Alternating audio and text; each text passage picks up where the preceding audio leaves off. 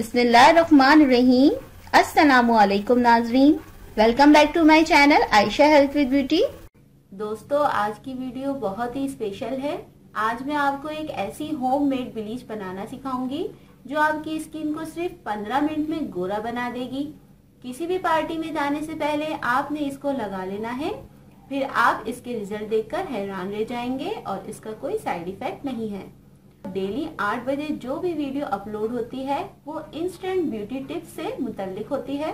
तो मेरे चैनल को सब्सक्राइब करना बिल्कुल ना भूलें। आइए इस होम मेड ब्लीच को बनाते हैं।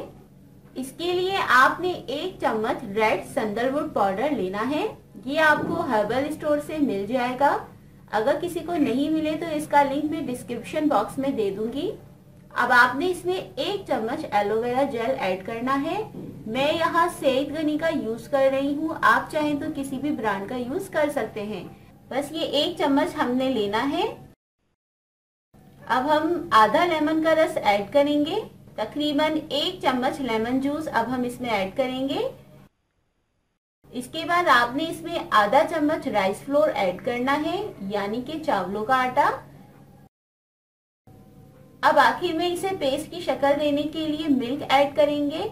अगर आपको मिल्क सूट नहीं करता तो आप रोज वाटर ऐड कर सकते हैं, यानी कि अर्के गुलाब। मैं यहाँ कच्चा दूध यूज़ कर रही हूँ। आपने भी दूध कच्चा ही लेना है।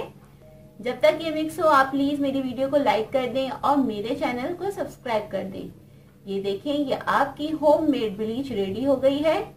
इसे आपने अपनी स्किन पर अच्छी तरह लगाना है और 15 मिनट के लिए छोड़ देना है। जब 15 मिनट हो जाए तो ये ड्राई सा हो जाएगा।